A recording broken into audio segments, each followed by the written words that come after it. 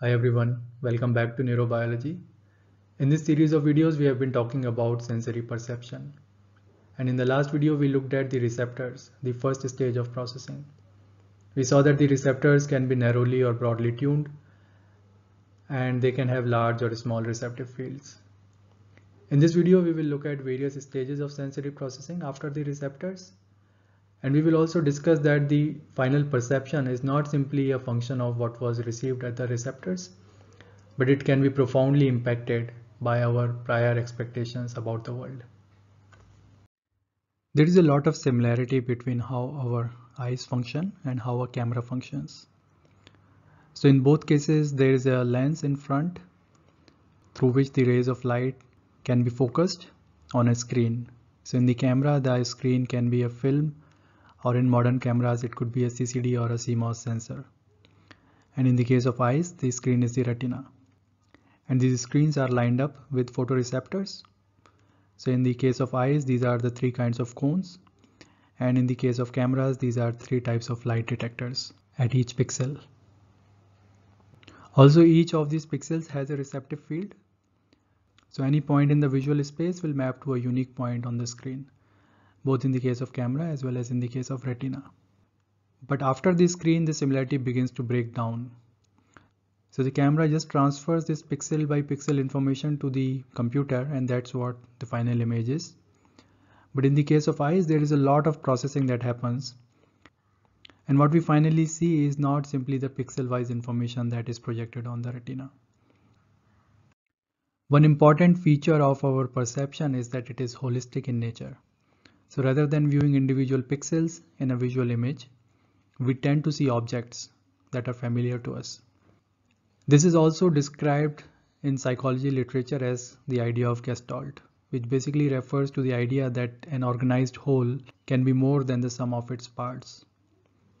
What we perceive finally can be very different from what is happening at the level of individual receptors. Here is an example of this. What do you see in this image? Most people describe this image as consisting of three black circles, one big triangle in between that has a black outline, and one white triangle on top that is covering the first triangle and the three circles partially. But if we zoom into the pixels, then we see that there are no big triangles here in reality. There are only three partial circles and three V's. So the perception of two large triangles is actually a creation of our brain and this happens because the brain interprets the images based on assumptions about what it expects in the world. These expectations have been set based on our prior experiences and also based on our evolutionary history over millions of generations that has gotten encoded in our neural wiring through our DNA. If you're not convinced with the previous example, let me try to give another example. What do you see in this image? Can you see anything meaningful being depicted here? Let me give you a hint. This image contains some alphabets of English language. Let me give one more hint. There is actually just one alphabet that is repeated multiple times and present in various orientations. Are you able to figure it out now? Maybe not. Now what I'm going to do is I will spill some ink over this image between the informative yellow parts. I will not affect the yellow parts at all. And let's see if that makes any difference. Okay, so I have done that now. Now can you tell what is being shown in this image?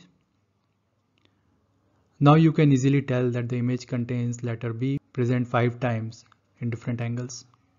And you can compare these two images to ensure that I have not cheated.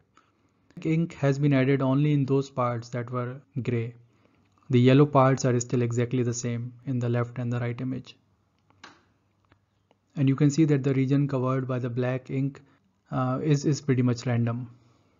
So why is it that we are able to decipher the letters easily after smearing the ink but not before that?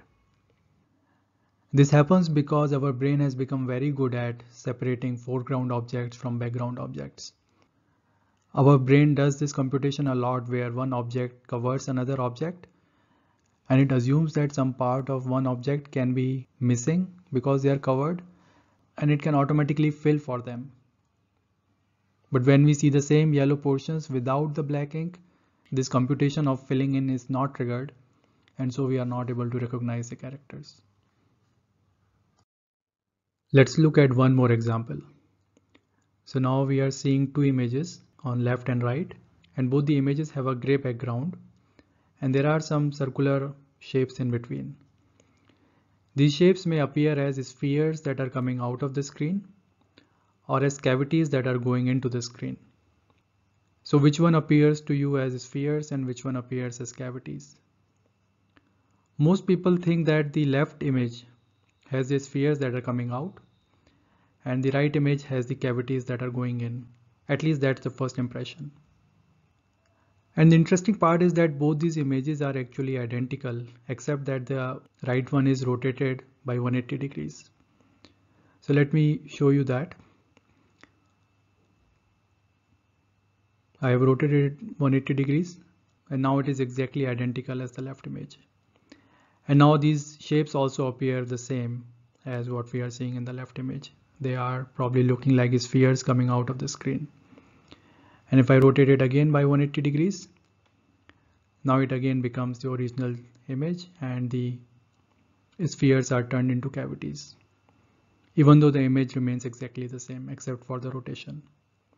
So what's going on here? The image is actually a 2D image and this perception of either spheres or cavities is a creation of the brain and that is based on our assumption of where the light source is. So if you assume the light source on top, then the left image would be consistent with the spheres coming out because the top part would be exposed to light and the bottom part would show the shadow.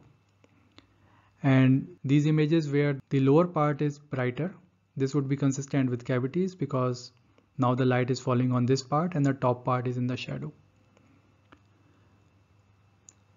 But if you assume light coming from bottom, then these would be consistent with cavities and these would be consistent with the spheres. So why is it that most people tend to think the left image as spheres rather than cavities? That's because most people automatically assume that the light is coming from the top. And that has something to do with our past history. Because light sources, both natural such as sun or moon, or artificial such as room lights or street lights, are usually on top rather than being on the ground. And so our brain has gotten used to interpreting images accordingly. And this is something that is happening even without our conscious attention. We don't have to think and do all these calculations in our brain to figure out where the light is coming from and where the shadow should be and then interpret the image. It has become a part of our sensory processing. Now here is a bit more entertaining example. I'm going to show you two images each image has two persons seated on chairs and you try to compare their sizes in the two images.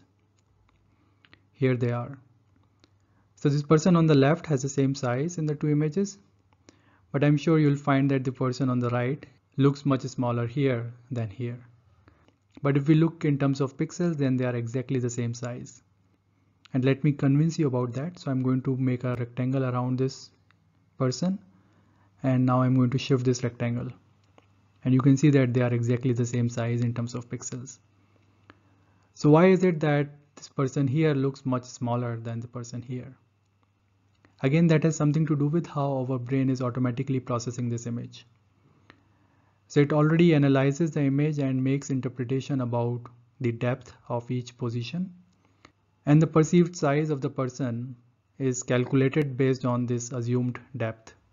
So in this left image, the brain assumes that the person is sitting at a farther distance and takes that into account to calculate the size. Whereas in the right image, the brain interprets this image as the person sitting in front and so that correction for height is not made. The sensory processing in the visual system seems to be optimized for recognizing objects rather than paying attention to all the pixel-wise data. So it tries to extract those features that are helpful in identifying objects and the most important such feature are the edges.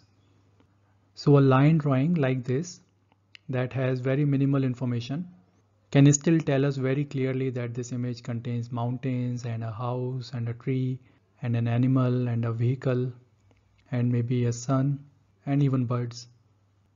There is very little information in these scribbles here, but our brain unmistakably interprets them as birds. And this is possible because our brain has over time learned to interpret objects using their outlines rather than the finer details.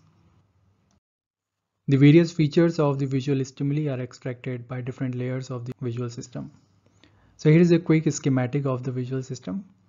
The information from the retina goes through the optic nerve to a region within the thalamus called the lateral geniculate nucleus LGN and from there it goes to the primary visual cortex V1 um, here is another representation of the same. So there are different types of cells in the retina, then the thalamus, and then it goes to V1. The V1 is a cortex, so it has multiple layers. There are some calculations happening in the V1. So various kinds of contrast are calculated. And then the information goes to higher cortical areas such as V2, V4, inferior temporal cortex and so on. And on this side mediotemporal cortex and other areas. And at each of these areas different features of the visual stimuli are being calculated. And as we have seen that the prior experiences can play a role in these calculations so there is also a lot of feedback that is not depicted in this figure. So this feedback can also influence the processing at these layers and as this information goes deeper and deeper more and more parts of the brain get involved so a large part of our brain is involved in the visual perception.